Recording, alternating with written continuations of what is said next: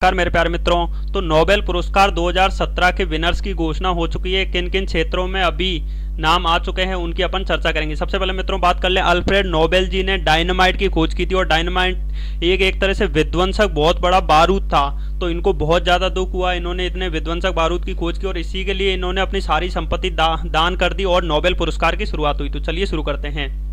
नमस्कार मेरे प्यारे मित्रों, आपके अपने चैनल जीएस की दुनिया में आपका स्वागत है। साल 2017 के नोबेल पुरस्कारों की घोषणा में सबसे पहले चिकित्सा के क्षेत्र में नोबेल पुरस्कार की घोषणा स्वीडन की राजधानी स्टॉकहोम में की गई है। मित्रों, अभी चिकित्सा के क्षेत्र में मिला और जैसे जैसे आगे क्षेत्रों में मिलता जाएगा, आप तक मैं जानकारी पहुंचाता रहूँगा। तो चलिए शुरू करते हैं। इनको किस फ़ील्ड में मिला? मतलब चिकित्सा में मिला तो इन्होंने क्या ऐसा किया था? तो दिन रात कैसे काम करती है? इन्होंने एक घड़ी बनाई थी, जैविक घड़ी। इसके लिए तीनों वैज्ञानिकों को मिला चिकित्सा का नोबेल पुरस्कार। अब जैविक घड़ी क्या है? कैसे काम करती है? ये अपन अभी चर्चा करेंगे। तो इन तीनों को देख लीजिए। जेफ्रे सी हॉल जी को मिला, माइकल रॉसबास जी को मिला और माइकल डब्ल्यू यंग जी को मिला है। अब देख लेते हैं इन्होंने क्या क्या किया था। Jeffrey C Hall Washington University से पीएचडी करने के बाद ब्रेंडिस यूनिवर्सिटी में शिक्षक रहे हैं ये।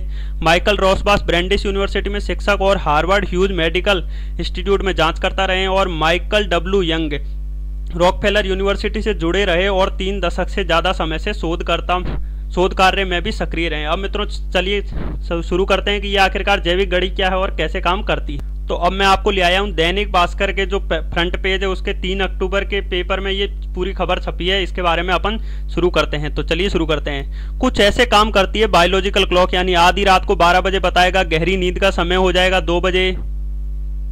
गहरी नींद का समय हो जाएगा दो बजे, साढ़े चार सबसे कम शरीर का तापमान छः पैंतालीस ब्लड प्रेशर में तेज़ी से वृद्धि, साढ़े दस सर्वाधिक अलर्टनेस, बारह बजे दोपहर, ढाई बजे सर्वोत्तम समन्वय, साढ़े तीन पे सबसे तेज रिएक्शन साढ़े छः पे सर्वाधिक ब्लड प्रेशर, सात बजे सबसे ज़्यादा बॉडी टेम्परेचर और नौ बजे नींद आती है, यानी मेलाटोनिन का स्त्राव।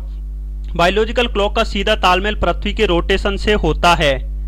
इससे दिन रात का भी पूरा एहसास रहता है। तो मित्रों, आप इसको पूरा पढ़ सकते हैं, किस अनुसार, कैसे, क्या मिली। आपको याद ये रखना है एग्ज़ाम के पॉइंट ऑफ़ व्यू से, कि चिकित्सा के क्षेत्र में किन किन को मिली है मोस्ट इंपॉर्टेंट है और किस फ़ील्ड में मिली है। यानी चिकित्सा के क्षेत्र में मिली है और ये बायोलॉजिकल यानी जो प्राकृतिक घड़ी है, उसको बनाने के लिए मिली है। तो मित्रों, मैं आशा कर रहा हूँ कि आपको ये पूरी जानकारी समझ में आ चुकी है। तो आपको मेरा वीडियो कैसा लगा लाइक शेयर और सब्सक्राइब के माध्यम से ज़रूर बताएँ। सो थैंक यू फ्रेंड्स जय हिंद, जय भारत भारत माता की जय।